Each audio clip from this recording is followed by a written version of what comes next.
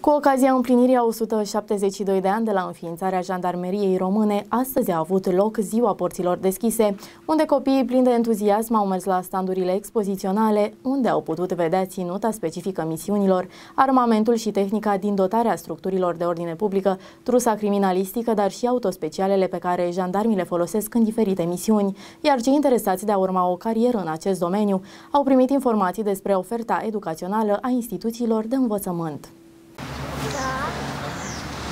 Este minutul care folosesc echipajele noastre pentru a observa zonele în care ei patrulează. Da? Ai văzut, dacă te uiți pe partea aia o să vezi. Asta este un aparat foto care îl folosim noi la meciurile de fotbal să facem poze la anumite persoane, da? Bun. Ne uităm pe aici și apăsăm aici cu degetul. Uite aici. Da? Ne uităm pe aici. Aici. Aici. Aici apăsăm, da? Aici. Uite-te pe acolo. Sărbătorită în fiecare an la 3 aprilie, Ziua Jandarmeriei Române marchează data la care, în anul 1850, domnul Moldovei, Grigore Alexandru Ghica, a aprobat hotărârea divanului obștesc, semnând actul de înființare a jandarmeriei, legiuirea pentru reformarea corpului slujitorilor în jandarmi. Astfel, invitații lansate de către jandarmi au răspuns elevii însoțiți de cadrele didactice din școlile și liceele mehedințene. Jandarmii au întâmpinat pe mici musafiri cu paloane și stegulețe. Avem numere aici, da?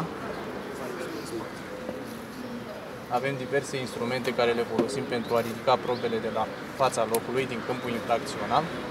Un costum aici, cu ochelari, ca să nu lăsăm noi urme în câmpul infracțional. Da?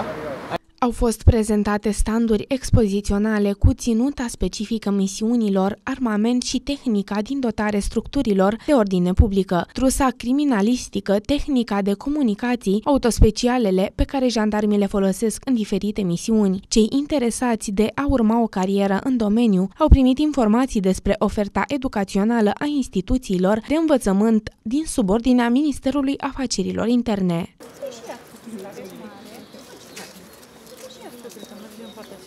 Anul acesta, la data de 3 aprilie, aniversăm 172 de ani de la înființarea Jandarmeriei Române.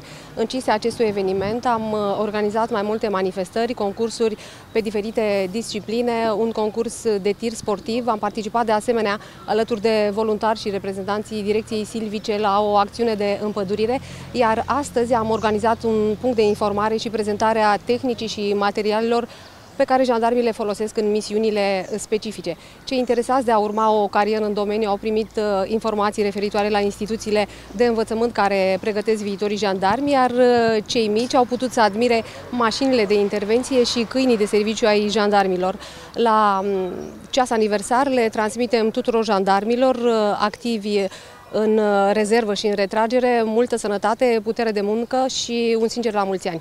Cele mai așteptate momente au fost exercițiile demonstrative, constând în exerciții de autoapărare, spargeri de obiecte dure, elemente de dresaj canin, dar și o simulare a unei situații privind restabilirea ordinii publice. Manifestările dedicate sărbătoririi a 172 de ani de la înființarea Jandarmeriei Române continuă cu simpozionul Jandarmeria Română de 172 de ani pentru România, ce va avea loc la Palatul Culturii Teodor Costescu.